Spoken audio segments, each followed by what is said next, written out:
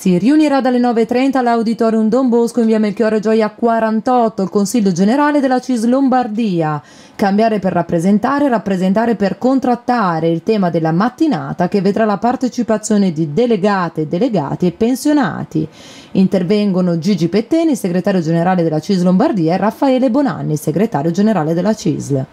Intanto dobbiamo fare il punto insieme per rilanciare la nostra azione che ogni giorno cerchiamo di fare nella contrattazione dei luoghi di lavoro nei confronti con la Regione e vogliamo inserirla dentro in un quadro più generale dell'azione sindacale, per cui oserei dire facciamo il punto per gettare i ponti della nostra azione nelle prossime settimane per la nostra primavera sindacale, insomma, ecco, prepariamo la primavera della CIS Lombarda.